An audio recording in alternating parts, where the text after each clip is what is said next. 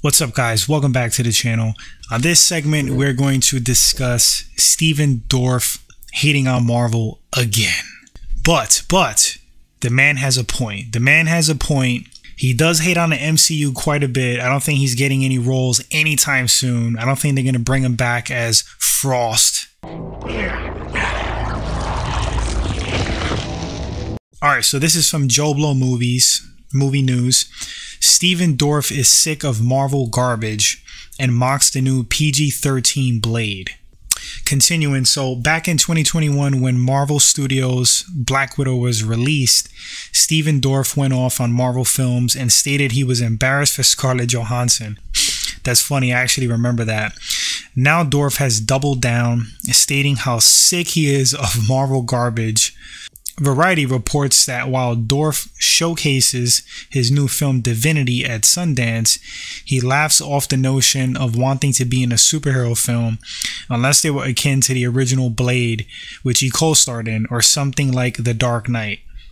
Try not to drag this out. Um, so he says, all this other garbage is just embarrassing. You know what I mean? I mean, God bless them. They're making a bunch of money, but their movies suck. And he laughs. And nobody's going to remember them. Nobody's remembering Black Adam at the end of the day. I didn't even see that movie. It looks so bad. Well, Black Adam is not Marvel, Stephen. Let me just get on to the Blade part. So he says, Marvel's used to me trashing them anyway. How's that PG Blade movie going for you? That can't get a director. Because anybody who goes there is going to be laughed at by everyone because we already did it and made it the best all right, all right, I'm done. I'm done with Stephen Dorff here. But, but, like I said, the man kind of has a point when it comes to like PG, PG 13, and Blade. That's just not going to work. That's just not going to work. Um, certain characters deserve and need an R rating. Uh, I'm going to drop some characters. The Punisher, my favorite Marvel character of all time has to have an R rating. It's just not going to work with a PG 13. Uh, Wolverine, Venom, Ghost Rider, Morbius, Blade, Moon Knight. And I know why they do the PG 13 thing. I, I think we all do. They're trying to make as much money as they can. I mean, it is a business. But at the same time, the irony is funny. Like, they're hurting their business by not staying true to the characters and not doing them justice by having them in, you know, the proper vehicles like R rated films. If you put these characters in R rated films and do them correctly, they're going to have like, um, you know, longevity and they'll be beloved by fans. Don't be afraid to have R rated films, they can do very well. And again, you know, not to sound redundant, some characters have to be R rated. Superman doesn't matter. Superman doesn't have to be R rated. You know, Superman is a cookie cutter, clean cut. That could be PG. Batman could be darker. You could you could play around with Batman a bit, but it's just a point. You know, there's some characters that that don't need an R rating. Some do. So going back to Marvel and Stephen Dorff, I've read his other quotes and stuff. He he kind of sounds like you know sour grapes a little bit for for whatever weird reason. He got like a you know a hard on from Marvel. Um, he's you know he's saying that he would never do a Marvel film. You wouldn't catch him dead in a Marvel film. But I don't think they were knocking down his door anyway. I'm not trying to hate on the guy, but he's very opinionated and he's brash. So he could take it back. I mean, those are just the facts. I don't really think they were looking for Stephen Dorff. But the man has a point about Blade being PG versus a rated R film. And the original Blade, you know, I think it came out like in 1998. I went to the movie theater to see Blade. I was blown away. It was like one of those movie experience films. You know, Jurassic Park was like that. The Matrix was like that.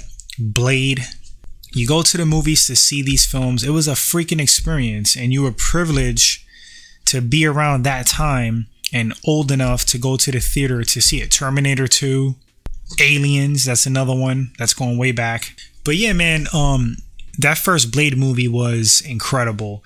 The sequels, eh, they kind of like were cash grabs to me. Um, I I enjoyed them, you know, something to watch, popcorn flicks, but they pale in comparison to the first Blade. The first Blade was was a masterpiece. That's like hands down one of the best superhero films of all time. Wesley Snipes will always be Blade to me. You know, um, Mahershala Ali, I, I wish him the best. I wish him well. He could possibly pull it off, but he's not going to be Wesley Snipes. Let's let's let's be real, guys. Wesley Snipes had the look. He had the physical ability, being a real martial artist. He was born to play Blade. The same way Hugh Jackman was born to play Wolverine, just absolutely nailed it. The same way Robert Downey Jr. nailed it with Iron Man. Chris Hemsworth with Thor. Although, although the directors are screwing him up, they're making him into like a comedian. They're making Thor like a fifth Three Stooges member or fourth, fifth. That's a whole other conversation. But yeah, Wesley, you know, it, here, here's the thing with Wesley Snipes is crazy. He was in Coming to America 2 and he looked great. the dude looked like he hasn't aged a day from when he did Blade.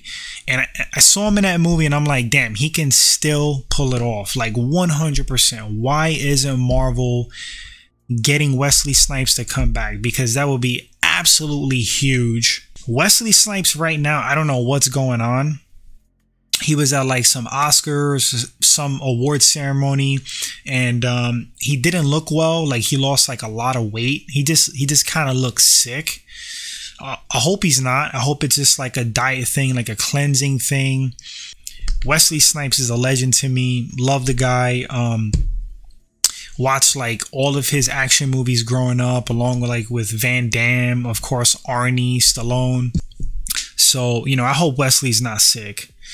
Um, but yeah, and coming to America too. At that point, pff, the guy looked phenomenal. He definitely could have pulled off Blade again. The Blade film has already been through like um, a few directors. I know one of them definitely dropped dropped off, or he like took off. Uh, they were scrambling to get another director, so that's kind of like a mess. I think they rewrote the script because it wasn't like violent enough or it didn't have enough action, which is a terrible sign. It's like, come on, guys, please don't screw Blade up. anyway, guys, let me know in the comment section what do you think about Stephen Dorff's comments. Do you agree with him on any level? Do you think Marvel movies suck? Superhero movies suck? I don't think so. I think he's a little bit misinformed. I don't know what films he's watching, but there's some there's been some really good Marvel and superhero films in general. Some of them are dumb, some of them are cash grabs. So I understand where he's coming from depending on what he viewed. But I think he's spot on with Blade. I do not think they're gonna make a better Blade movie than the original don't see that happening. But let me know in the comment section, guys. Thanks for watching the segment. If you enjoy the content, consider hitting that subscribe button. Appreciate you guys, and I'll catch you all on the next one. Until then, take care.